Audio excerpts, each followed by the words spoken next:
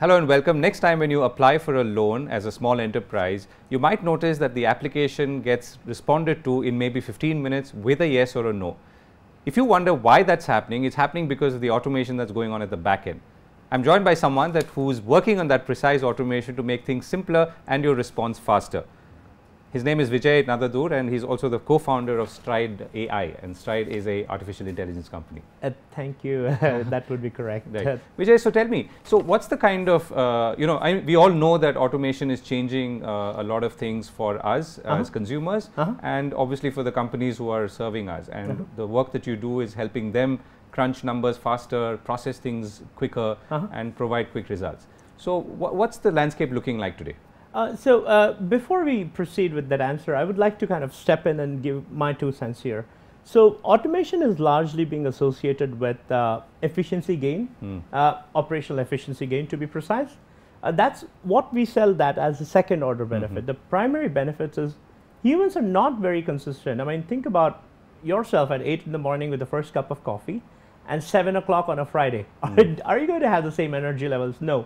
So processes that pertain to compliance, regulations, which require meticulous and consistent thought process, uh, is going to be affected with more and more humans being there. Hmm. So what we are trying to do is make people more efficient and like let them focus on things that the creative pursuits hmm. predominantly. That's what we enable.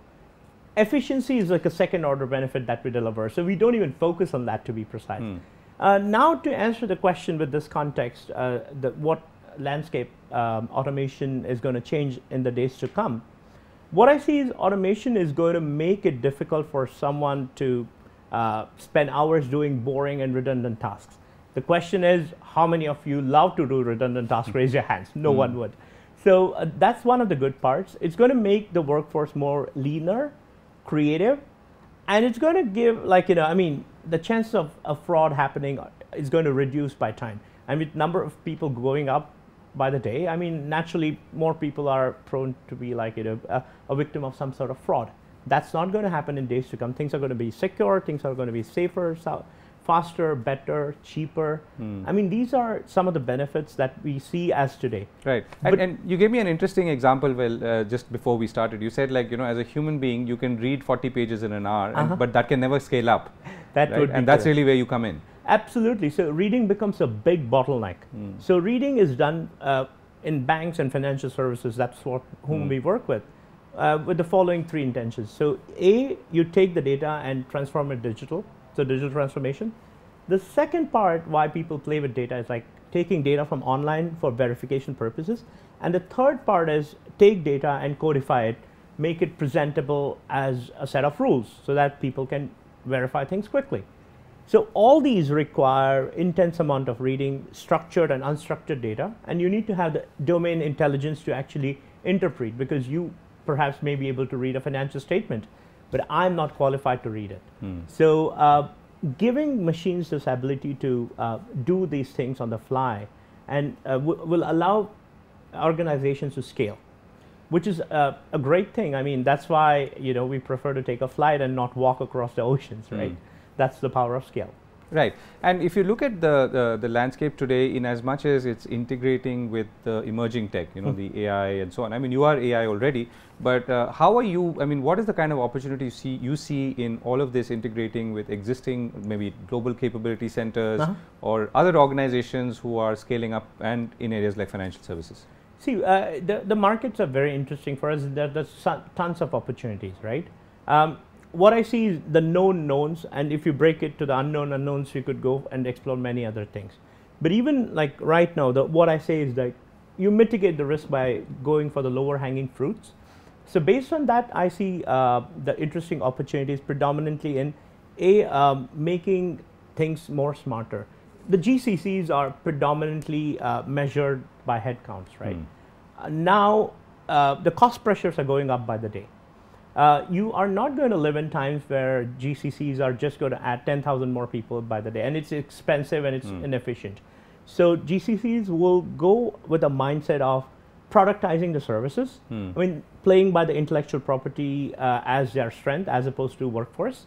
Um, you need smarter workforce. You don't need more workforce, right? So that's where the landscape we see as the biggest opportunity for us you cannot make workforce smarter without cognitive automation in place, and that's where we come in. Right. And if I were to ask you to look ahead now, I mean, what's the, the, the, sort of real magical stuff that's going to happen here uh, and the truly exciting stuff which can obviously uh, make uh, things on the automation front easier, simpler, faster, Uh-huh. but also, uh, you know, make the whole process of human interaction much more richer. Uh, absolutely. I mean, so uh, think about it, right? The touch points, right? Which um, the touch points that really need human interaction, you could have very skillful humans work with you. So it enhances the customer experience. Uh, in fact, I, I'll be speaking uh, in the next couple of months. The topic is about how AI is making customer experience richer. Hmm. And I have specific examples from retail banking with, in which we have So, seen tell us one. uh, so, for example, right, I mean, we've seen in, i international banks uh, across the world where compliance, and it depends on like, you know, geography and the compliance and the regulation, it takes about 50 seconds to a minute to open an account. Hmm. You come in with your ID proof, it's scans it, and everything is digitalized. The data is processed, verified, and when you walk into the counter, all that you do is sign and your accounts are ready. I mean, that is a fascinating thing. Compare that to going to a bank, fill up the paperwork, and try to like you know wait for a couple of hours. I mean, it's boring and inefficient. So this is one of the big game changers I was uh, going to talk about. Right. And and uh, what's the ex- new and exciting things that you're working on? I mean, as an engineer, what do you think uh, is the is the next big thing that you want to do or would like to do? Before that, I would like to set some context, right? Mm. When you talk about AI, you kind of like you always see uh, robots taking away our jobs and Mm. robotic revolution. Now, robotics has some component overlap with AI, but robotics is not Right. AI. Machine's ability to mimic human intelligence is AI. Hmm. Now, what is human intelligence, right? If I showed you the pen in my hand and asked you what's the color of this pen, in all probability you would say blue. Hmm. How does blue color look like? Hmm. That's the interesting thing, right? I- I mean, being a native speaker of English, you probably couldn't answer. How does blue color look like? So these are the abstract concepts which we learn over the period of time with experience. I guess giving machines the ability to do these things is going to affect the landscape in so many ways. And we at Stride, especially, our um, our core strength is natural language understanding and process automation. So anything which is broken, we try to bring in structure, Hmm. and anything which requires deeper understanding of languages, that's where we come in and automate because that's the biggest part where we see uh, the cognitive thinking come into effect, like as simple as identifying colors or as complicated as comparing financial statements and looking for a potential fraud.